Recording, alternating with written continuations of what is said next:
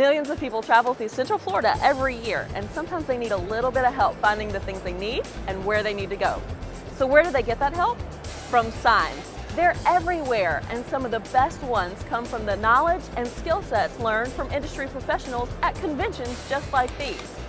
I'm Lindy, and on this Destination Orange County, we're at the Orange County Convention Center for the ISA International Sign Expo.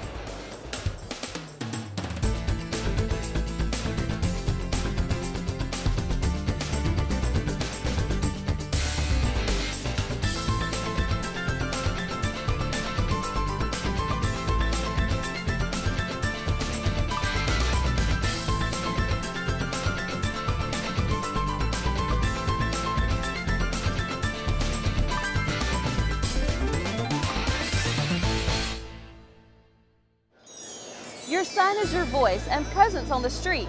You can't be out there meeting everyone and doing everything yourself, so you have to use your signage to communicate with pedestrians and motorists about who you are and what you have to offer. It's how you convince people to come through your doors and do business with you. I'm here with ISA President Lori on the showroom floor. Now, Lori, tell me a little bit, really what kind of effect does signs have on people?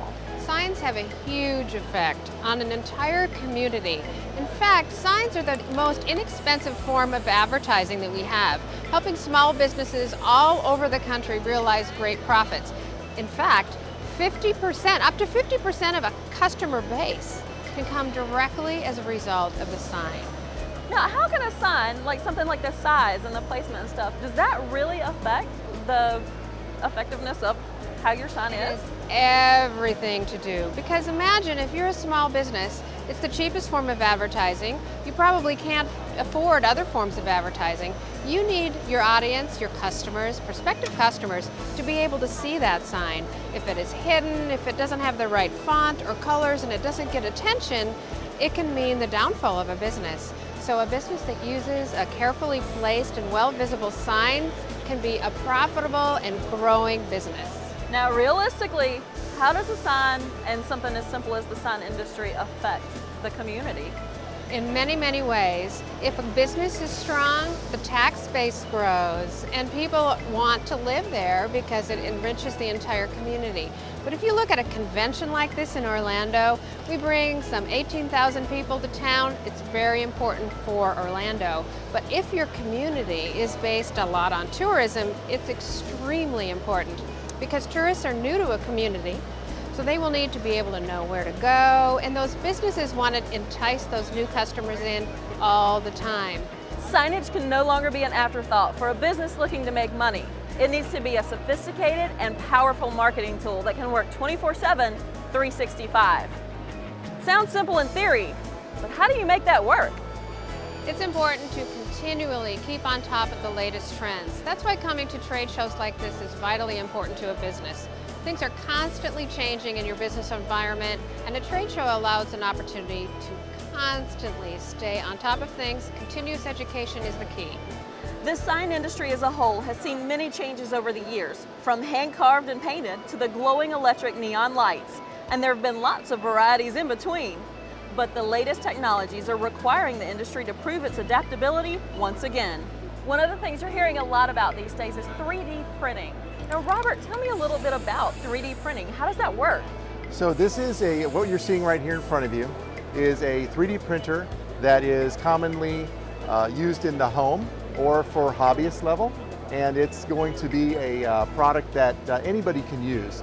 Um, this is a, uh, what they typically use uh, for teaching 3D printing, um, and it's going to produce really nice output, um, but it's really not uh, used for engineering or any professional purpose. What is this is just for like the hobbyists, for yeah. people that are looking at stuff and building fun things or yeah. maybe small parts? Exactly. So think of a hot glue gun uh, -huh. using weed whacker cord and melting it one layer at a time. And to that's how something like this. That's how it's made, yeah. Now this is not the only thing that you can do. There's a lot larger scales that are available. Is that right? Absolutely. For some more professional products, we can we have the ProJet X60 which is a machine that can produce uh, full color models uh, for architectural and for product packaging. So you can produce full color models that um, really are going to service the um, uh, architecture market and uh, um, any, anybody who needs a visual representation of a model. Now speaking of the real world, how does this relate to sign industries and businesses and how would this help people? So there's a lot of overlap. Um, a lot of sign companies are actually have engineers and architects as their customers right now. So they're buying this 3D output from somebody else. It makes a lot more sense for a, a sign company to service their uh, the existing market that they have and provide this kind of output to their uh, architect and engineering customers. So we even have more advanced machines that can produce very accurate parts um, out of solid plastic. And this is going to be for engineers. This is going to be for people who want very high precision. So we have a 3D printer to meet the needs of any um, application. You can't go anywhere these days without seeing digital signage all around you. Now, tell me what are some of the biggest potentials of digital signage? You know, we're seeing digital signage used everywhere now. From uh, We always saw it at the uh, airports. Uh, now you're seeing it at the malls, at the bars, at all the uh, restaurants. They're popping up everywhere. Even in the men's room, we're seeing digital signage now. So everywhere there used to be a banner or a poster as an opportunity for digital signage. Of course, the most obvious is at a restaurant where their menu board changes and they're using digital signage. Uh, but we're seeing it in lots of other places. Uh, the message can be changed on a regular basis. You don't have to reprint. So virtually anywhere a digital sign can be used today. And that's really a good point about, you see it in restaurants and stuff, anytime they change their menus or do something like that, it can be changed pretty much instantaneously, right? That's right, it can be, even from a tablet right there on the spot by the manager. So uh, very much an ROI for a restaurant, a good ROI, because instead of reprinting new menus, we just change it right on the spot. And it's really, it's visually attractive too. So that being an advantage, what are some of the other advantages to having this kind of stuff instead of the traditional printing?